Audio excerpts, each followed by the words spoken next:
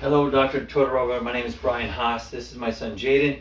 Jaden's 18 years old. I'm going to ask Jaden, uh, Jaden, do you give us permission to go ahead and videotape this uh, thoracic lung exam? Yes. Okay, awesome. I've washed my hands. Uh, after that, I come into the room there. First part of the exam is inspection. Uh, we're looking at Jaden's overall chest.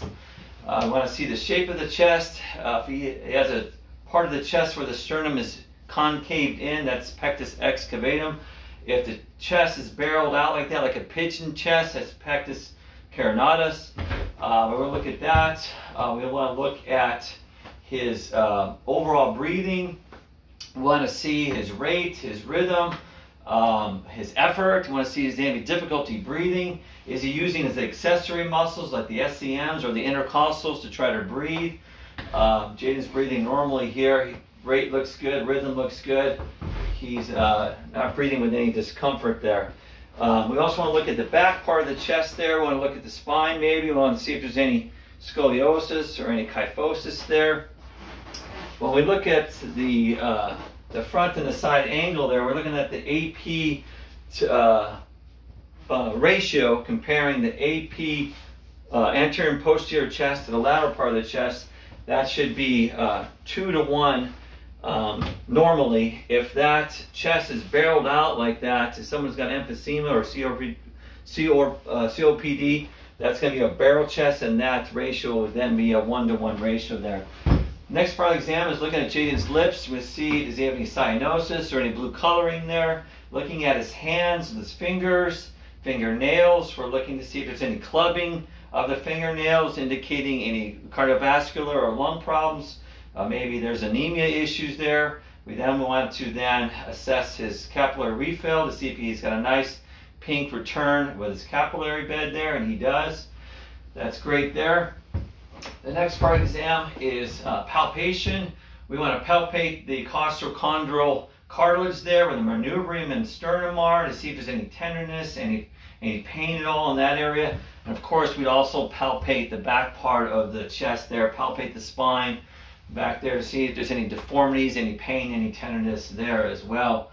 Next part of the exam is we'll do tactile fremitus. So we're going to start in the front here. I'm going to take the blade of my hand on the ulnar side. We're going to place it on the intercostal muscles there. We're going to do a ladder effect going across and down and across.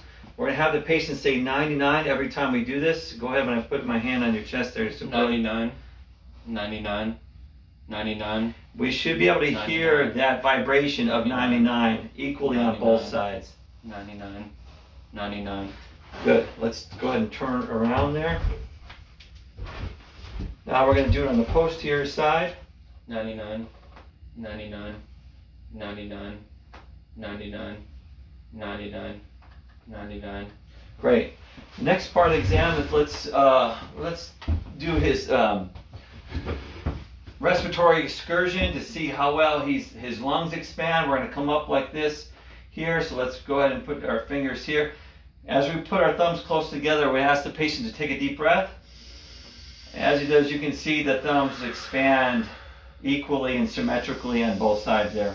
We would also do that on the front there as well. One more time. Okay.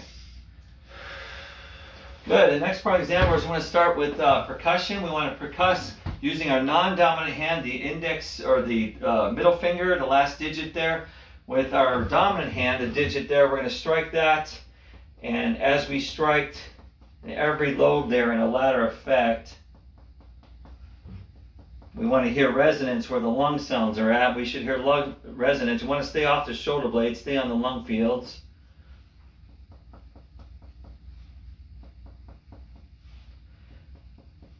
Good. Come laterally here. We're doing anterior. On the right side there, the anterior. This is the posterior side. We're going to do all three uh, parts of the lung there to uh, the uh, middle, the top, middle, and lower portion. On the left side is the top and the lower portion of the lung there. After we do that, we want to do um, diaphragmatic excursion. This is what we're going to do is see is the diaphragm, how it's expanding there. So what we're going to do is we're going to start from the top here. We're going to ask the patient take a deep breath in and then you hold that breath as long as just hold that breath. Go ahead and take a deep breath in. And we're going to tap for resonance until we get to dullness. And then there's dullness there. So we go ahead and mark that there. We mark that. Go ahead and release. Good. Then we'd ask the patient take another deep breath in. Take a deep breath in. And then we would start from the bottom. Now hold. And we would go here. Now we tap from dullness until we get to resonance. And there it is. And then we'd mark that there. So those two marks there, that measurement there, go ahead and uh, breathe. That should be about a three to six centimeter difference there, that measurement there. We would do it on both sides there, that respiratory excursion there, uh, or diaphragmatic excursion, sorry. Go ahead and turn around there for me. So we want to then percuss the front part of the chest there, same thing, we want to percuss all fields there. In a ladder effect, we're listening for that resonance there. Nice good resonance in this young man's healthy lungs. We come lateral here, lateral here. Again, we would do the respiratory excursion in the front there as well. The next part of the exam is we're going to auscultate his lungs. We want to listen to his lung fields and see how they're, see if we hear some good sounds there. We're going to start with the diaphragm here. We're going to come up here. Go ahead and take some deep breaths for me. Good.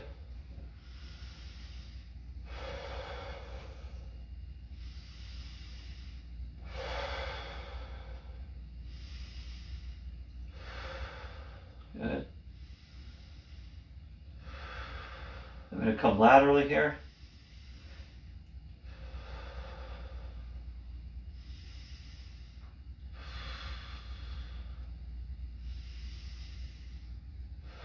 Good. Same thing. When I do a lateral shape of the listening to his lungs there. Um, what we're listening for is we want to hear mostly uh, we want to hear uh, and vesicular lung sounds in the chest there.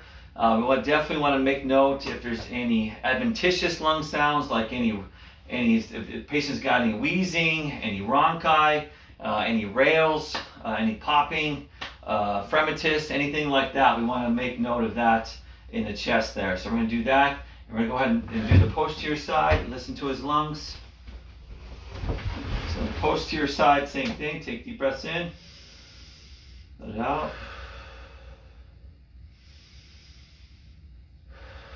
Good.